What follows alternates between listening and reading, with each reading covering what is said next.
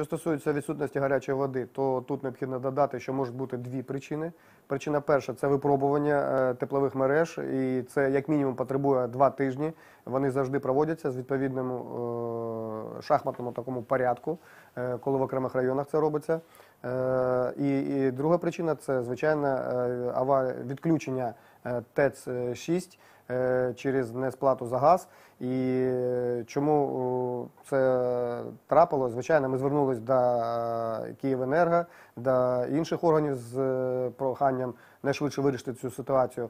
Але що стосується мого коментаря з цього боку, то мені здається, що це пов'язано з тим, що на сьогодні е, є велика заборгованість перед Київенерго щодо е, субсидій, які так і не розрахували з ними, так і з боку громадян.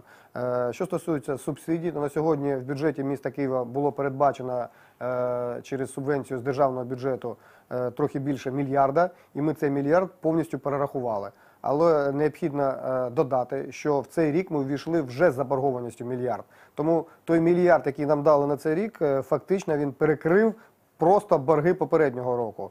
Е, І тому ми вже неодноразово зверталися до всіх інстанцій е, з тим, щоб терміново внесли зміни до бюджету, е, з тим, щоб, щоб закласти збільшити цю субсидію.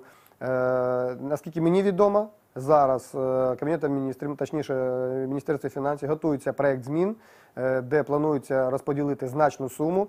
І е, я впевнений, що найближчим часом, як тільки будуть внесені зміни до бюджету, я сподіваюся, що як мінімум в сумі заборгованості субвенцію на субсидії нам дадуть, і ми відразу її перерахуємо. І це значно покращить ситуацію, дасть можливість розрахуватись за газ Київенерго і таким чином вирішити питання.